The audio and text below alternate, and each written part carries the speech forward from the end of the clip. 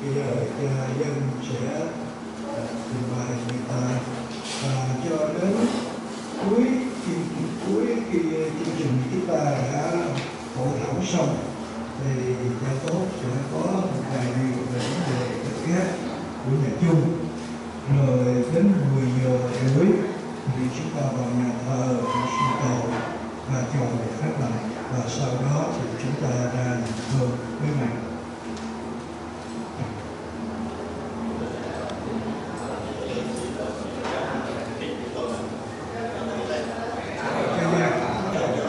nặng của người phụ nữ mà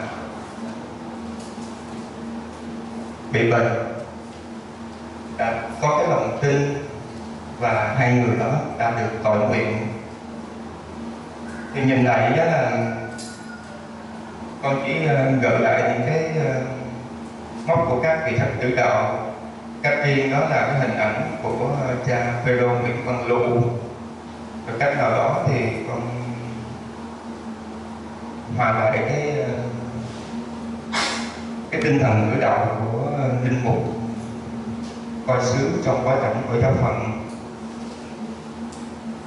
Kính thưa quý cha, thì để tích cực hưởng ứng cái chương trình của hội đồng giám mục Việt Nam đã đề xuất trong thư công bố năm thánh tôn vinh các thánh tử đạo Việt Nam đề ra ngày 1 tháng 5 năm 2018 thì ngày 19 tháng 6 năm 2018 vừa qua tại Ba Đồng Đức đã khai mở năm thánh cho giáo phận và mời gọi mọi thành phần trong các phận tham dự chiêm ngắm học hỏi gương sống đức tin của các thánh tự đạo Việt Nam để sống tinh thần tự đạo trong đời sống của mình.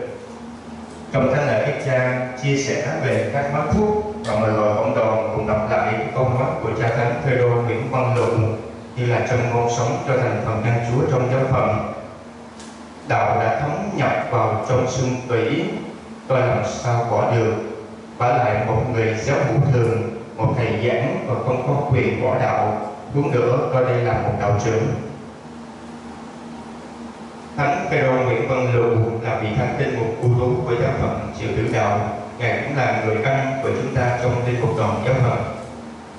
Ngay ở trung tâm Liên Hà, chúng ta nhìn lại cuộc đời của thánh nhân như ngọn gương của một đức tin cử đạo giúp chúng ta sống tinh thần cử đạo hôm nay bằng sự can đảm rút bỏ mọi thứ cồng kềnh khiến ta đi xa tình yêu của Chúa. Từ đó ta rút ra cho mình ý nghĩa của việc chấp nhận sự cử đạo trong trách nhiệm của một linh mục quê sứ. Thì con lấy cái lược sử của thánh Phêrô Nguyễn Văn lụ thì các cha có thể đọc. Ờ, trong đó thì cái gương của ngài có ba yếu tố đó là hy sinh vì sứ vụ thứ hai là mục tử sẽ sốc đầu chiên. Thứ ba đó là gương sáng Đấy là người nhà nước bây giờ cũng coi là thanh niên phụ nữ 18 tuổi được quyền mở tài khoản đúng không? Tức là cái lúc đó là để biết sử dụng tiền bạc một cách chính đáng rồi chứ phải nói hàng linh mục. Còn à, con chia sẻ một tí xíu. với quý cha vấn đề này chứ con không phải là lớn tuổi mà con không phải là nhỏ nó nằm ở trung trung thôi sồn sồn đi à, thì theo cái cách của con thật ra thì con chia sẻ một vài điều trước rồi truyền quý cha bởi vì sự thật thì mất còn dữ dằn lắm nhưng dù sao đi nữa nó vẫn là sự thật.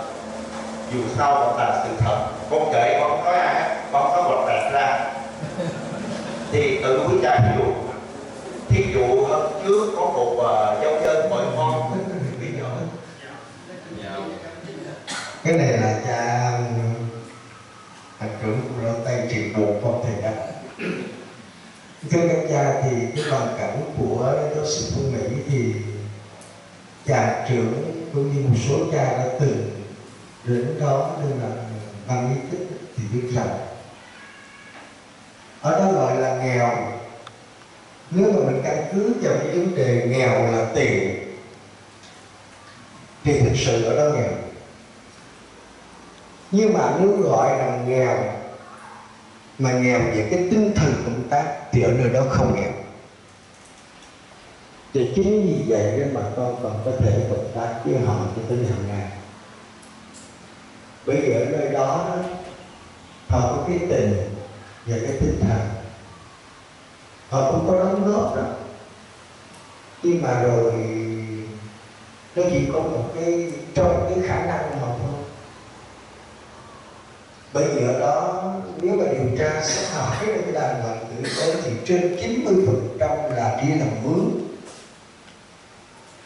Tôi gọi là cái từ là đi làm mướn. Ở đó chỉ được một điều là cha mẹ sẵn sàng đi làm mướn để cho con được học hành, được thành đạt. Tôi tin rằng trong cái tương lai ở nơi đó, nó sẽ phát triển nhờ cái giới trẻ còn về cái tinh thần tử đạo của linh mục thì thầy con nghĩ đơn giản như này. Cái gì mà trái ý mình, mà mình chấp nhận được, thì đó là mình tự đạo. Con nghĩ đơn giản như chứ còn mà nói là bởi vì à, làm linh mục, thì năm nay con ở Hoàng Xứ cũng được gần 7 năm thì con thấy là giáo dân thì ý thích thích đi chạy xe mình sức khỏe yếu là mình thích đi xe sắp tiền nhỏ. Cái chuyện mà nói nói chứ, mình ờ, mình nói chữ gì đạo thì mình đã niệm gì theo nghĩa là đánh giá hàng ngày hy sinh chu cầu một phần để thì gọi là tưởng đạo mình hiểu theo nghĩa rộng nhưng mà đừng có tưởng rằng chỉ có mình giá đánh giá đâu giáo dân họ giác còn nặng hơn.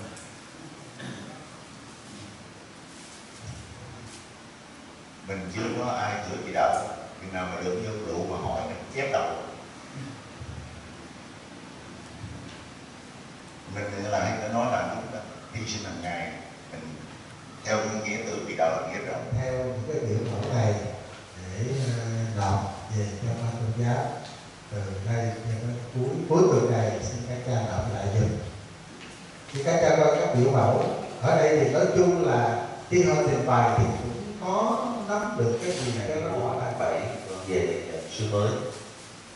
Cho nên con à, lợi dụng cái à, ngày thứ con hôm nay trong đủ quý gia con à, xin được cảm ơn trước hết là thầy gia trưởng và là quý gia và thương đón nhận con từ tỉnh tiền giang về đạo pháp này với sự quý mến yêu thương, hướng dẫn dạy dỗ con trong hơn hai năm vừa qua. Giờ đây con xin thân thật cảm ơn tất cả quý gia. Con nhận ra một điều nơi quý cha ở đồng tháp này.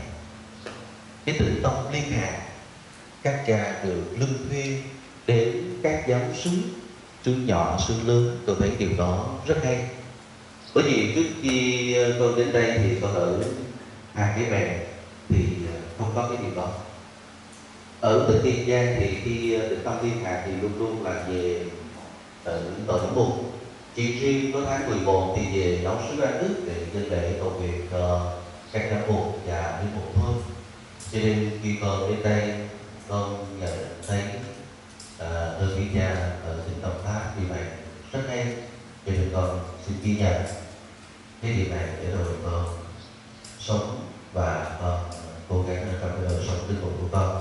Một lần nữa con xin à, cảm ơn tất cả quý cha xin quý cha yêu thương cầu nguyện. Dạ, và nếu có thể được à, ngày 24 tháng 7 xin quý cha à, cũng đưa con tới giáo sứ mới cầu nguyện cho con cũng như cầu nguyện cho giáo sứ nhỏ bé giảm kinh của chúng con con xin hết lòng cảm ơn quý cha.